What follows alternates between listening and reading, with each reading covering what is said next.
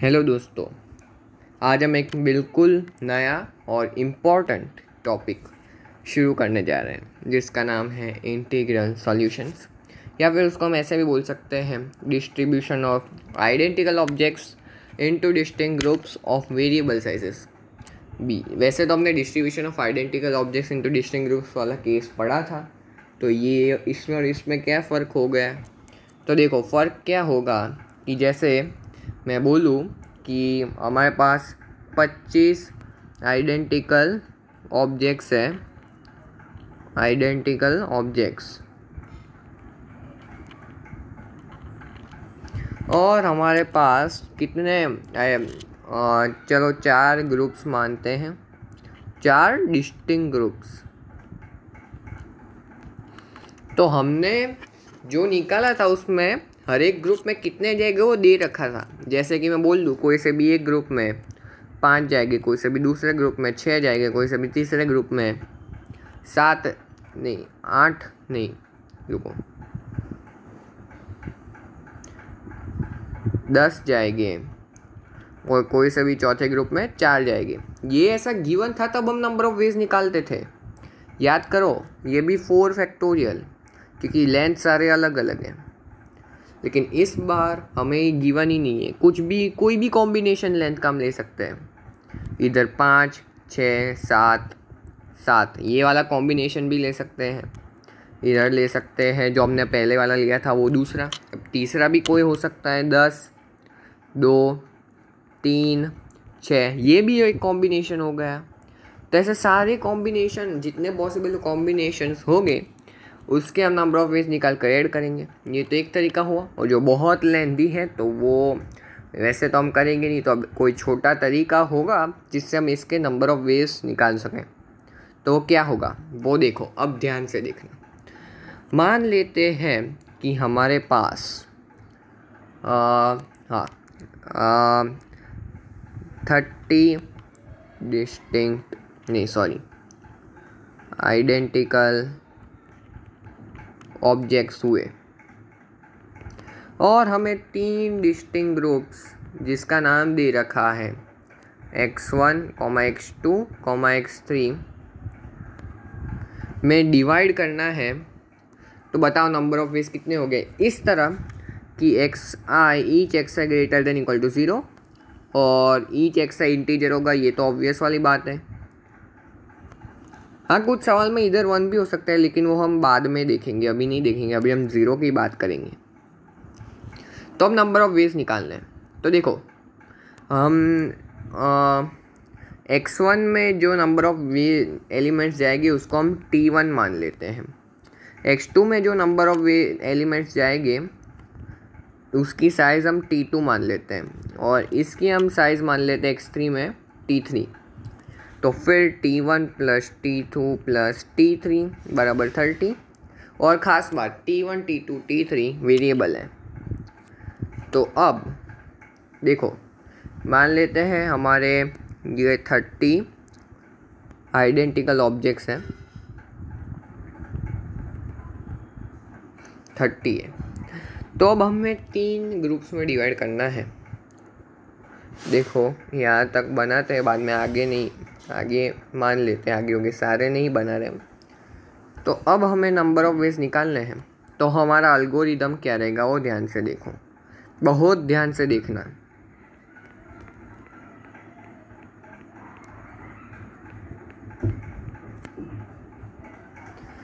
अब हम क्या करेंगे, इनके बीच में पार्टीशंस डालेंगे। तीन ग्रुप है। तीन पार्ट्स में डिवाइड करेंगे। टोटल जो तीस ऑब्जेक्ट्स है, उसको हम तीन पार्ट्स में डिवाइड करेंगे।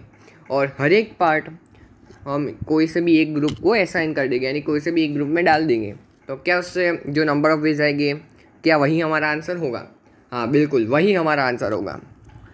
तो देखो, हमने दो पार्टीशन कहीं भी डाल सकते हैं। हमने मान लेते इधर डाले अब देखो पार्टीशन तो आइडेंटिकल ही होंगे। क्यों आइडेंटिकल होंगे? सुनो, देखो, ये मान लेते डिस्टिंक्ट है। तो ये पार्टीशन ये है, पार्टीशन भी है।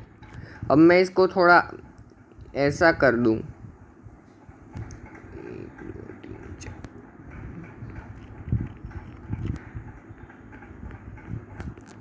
ऐसा कुछ में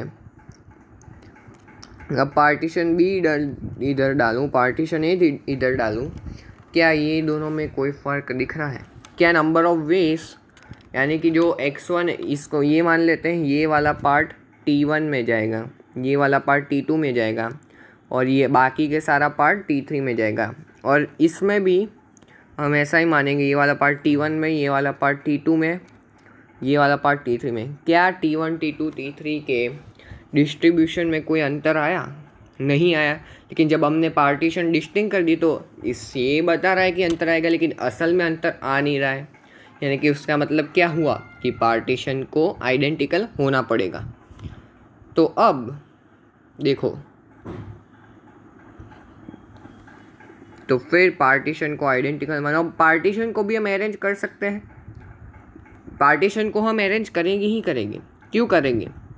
क्योंकि हम पार्टीशन को देखो, मान लेते हैं दो पार्टीशन को इधर डाल दिया। तो टी वन में ये टी टू में ये और बाकी सारे टी थ्री में।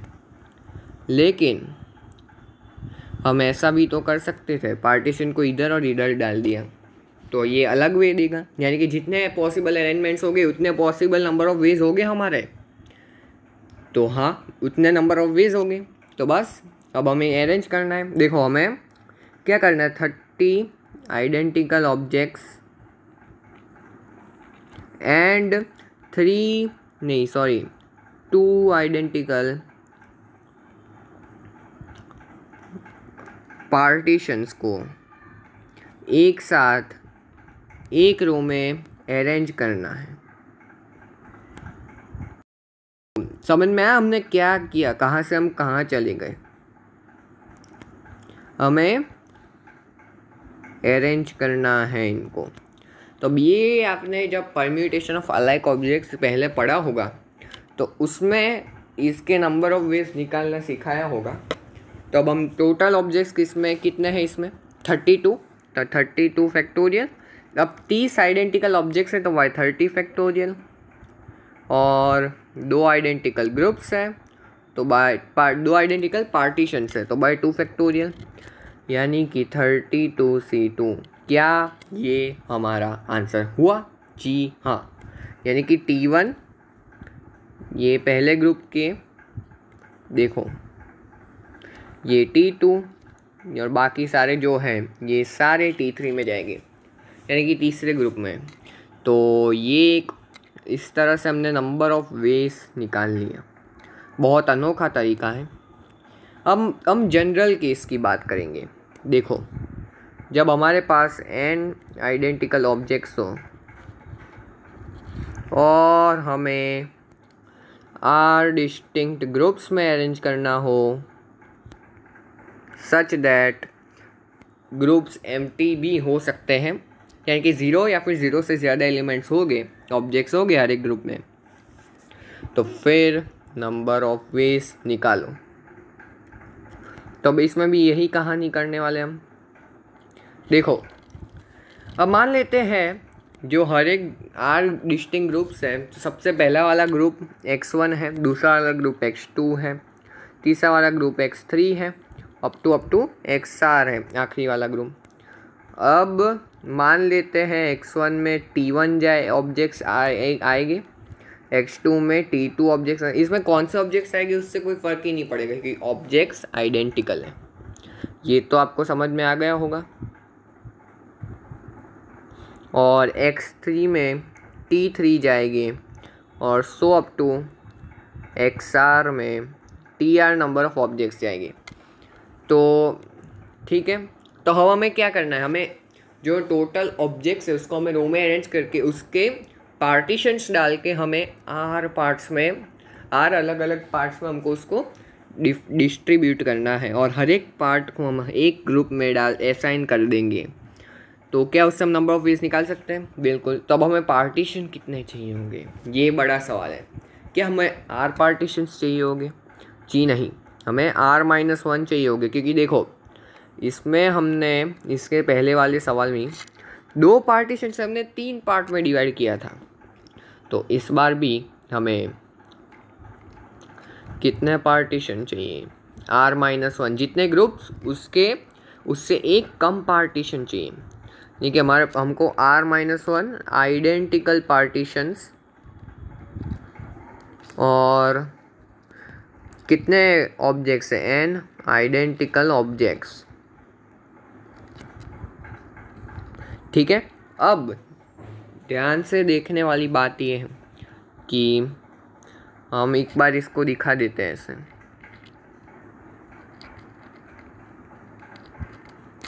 और ये रहे पार्टीशंस को। हाँ खास बात पार्टीशन इधर भी होगा। अगर इधर होगा तो ये जो इसके पहले मतलब इसके जो लेफ़्ट वाला पार्ट होगा, वो खाली होगा। यानी कि वो पार्ट जो ऑब्जेक्ट्स है, वो हम जिसको भी असाइन करेंगे, वो एम टी ऑब्जेक्ट होगा। M group empty object नहीं एम टी ग्रुप और एम टी ग्रुप अलाउड है, इसलिए हम ऐसा कर सकते हैं। ये सारे पार्टीशन है। पार्टीशन भी ऐसे चलते रहेंगे। तो अब बताना है कि नंबर ऑफ़ वेज क्या हो गए तो अब हम इस, इसमें ऐसे करें total objects n minus r plus one है तो उसका फैक्टोरियल बाय देखो r minus one distinct groups है। नहीं sorry identical r minus one identical party partitions है। By r minus one factorial और एन आइडेंटिकल ऑब्जेक्ट्स है तो बाय एन फैक्टोरियल और इसको हम लिख सकते हैं n plus r minus one C r minus one तो हम इसको हम यूँ लिख सकते हैं t one plus t two plus t three plus plus plus plus up to t r equal to n तो इसमें जो t one t two t three सब टू टी आर के जो नंबर ऑफ़ इंटीग्रल सॉल्यूशंस ध्यान से सुनना। Number of possible values of all t one से टी आर जिसके लिए एन हो जाए तो उसके जितने नंबर ऑफ़ सॉल्यूशंस होंगे, वो इतने ही होंगे। N minus n plus r minus one C r minus one यानी कि इसके number of solutions number of integral solutions जो होंगे, वो n plus r minus one C r minus one होंगे और ये फॉर्मूला को रिमेंबर कर दो, इस पे बड़े सवाल बनते हैं क्योंकि हमें, वो क्या है डिराइव करने का टाइम वेस्ट हो जाता है। तो बस n minus one n plus r minus one C r minus one तो ये है number of integral solutions for t one t two से टी आर तक greater than equal to zero क्योंकि इसमें ऑब्जेक्ट्स नहीं ग्रुप्स एम हो सकते हैं। यानी कि टी वन या फिर टी टू कोई भी एम हो सकता है।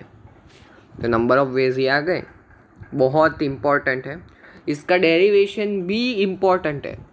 क्योंकि कुछ सवाल में जब ट्विस्ट आएँगे तो फॉर्मूला अप्लाई नहीं होगा। डेरिवेशन से हम निकालेंगे। तो ये बहुत बढ़िया कंसेप्ट है। तो अब हम कुछ कुछ छोटे सवाल कर लेते हैं। सवाल ये है कि x one plus x two plus x three plus x four plus x y बराबर टेन है। Each x i greater than equal to zero है।